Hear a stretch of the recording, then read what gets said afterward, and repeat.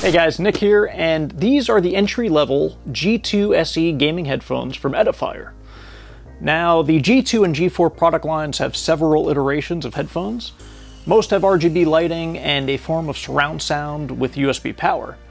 These, on the other hand, are the most basic, most budget edition, so let's see what you're getting for $35 and if they're a good buy for your specific use case. Stay tuned.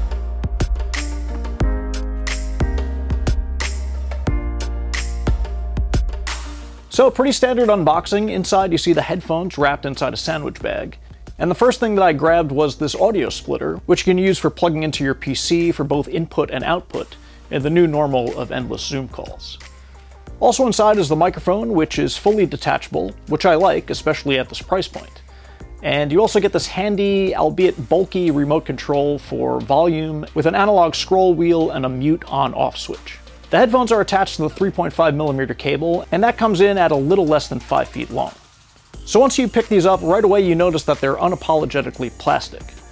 There's a blend of both glossy and matte finished plastics, but make no mistake about it, you won't be getting aluminum, steel, or other premium material here. And that's really to be expected for $35. For that build quality, you'll need to open up your wallet for another $40 to $50 and upgrade to the G4TE line. Now because there's no steel or aluminum here, the headset is super lightweight, coming in at around half a pound, which is going to make those longer gaming sessions a bit more comfortable than having metal sitting on top of your head. Each ear cup is labeled with right and left letters, and they're nicely padded with a squishy, 100% genuine pleather material. And what I noticed right away on the box and in hand is that they appear to be open back, as each ear cup has a nice open mesh design on the outside. Now for most of the other G series, this is where the logo also lights up with RGB lighting. Here you're not getting that. However, I found if you're really missing the RGB lighting feature, you can just hold up your gaming controller next to the logo, and it appears to light up blue for just a few seconds. Despite the generic pleather, the headphones don't actually cause any discomfort, even for those epic late-night gaming sessions. I've had them on my head for hours at a time on both the Switch and PS4, uh, on a wide range of both online and offline games, and I have no complaints when it comes to comfort. The headband also contains the same faux leather padding, and it has some flex, but I wouldn't overdo it in fear of snapping them, especially with their all-plastic design. But if you're just popping these on and off your head for normal everyday use, I wouldn't worry too much about it. Just don't go crazy bending these for your own stress test at home. Now let's talk about connectivity. Now I'm old school and I actually like the 3.5mm headphone style because I can plug them directly into the PS4 controller and be ready to go in seconds. The cable doesn't cause a tripping hazard since it's not connected to the console itself, and overall I've really just found plugging headphones into the controller is easiest. That said, you are going to miss out on some premium features such as surround sound, dedicated software, and RGB lighting. So let's talk about sound. These headphones sound really good. For $35, I wasn't expecting to be blown away, but yes, they sound great. They have 50mm drivers, and the sound they produce is not at all tinny or overly bassy.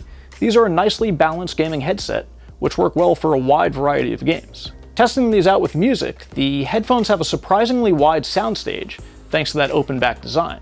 And you can hear nice instrument separation, with acoustic guitars and background vocals panned super wide left and right, and the bass, drums, and vocals chugging along in the center.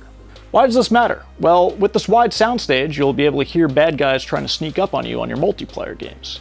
And you shouldn't suffer from audio fatigue thanks to that balanced sound. The sound does leak quite a bit, which is to be expected from any open back style headphones, so just keep that in mind if you're trying to game on the DL. The microphone quality is top notch as well, and you can hear that now. Super clear, and these would work great in a pinch if you're getting a work call while trying to level up your character low key during work hours. Again, I love that the mic detaches, so I often use these without the microphone, playing some offline RPGs. And as I said, the soundstage is wide enough that everything from the bad guys sneaking behind you to orchestral sections of Skyrim sound amazing. All in all, this is a great budget-friendly headset if you're not looking to necessarily game competitively with Ultra 7.1 surround sound, flashing RGB lights, and all the bells and whistles of a premium 75 to $150 gaming headset. These are a great option if you just want to sit back, relax, plug in some headphones to your console of choice, and game the night away. They're cheap, comfortable, sound great, and work right out of the box. Not much else you can really ask for for $35. So I'll leave product links down below in the description to their whole G Suite, so check them out. Drop me a like on this video, it helps the algorithm, you know that. And comment down below. And sorry, if you didn't like the video, YouTube overlords removed that button, so shoot me a DM instead to show your disdain. As always, this has been Nick from Quick Tech. We'll see you in the next one. You take care now.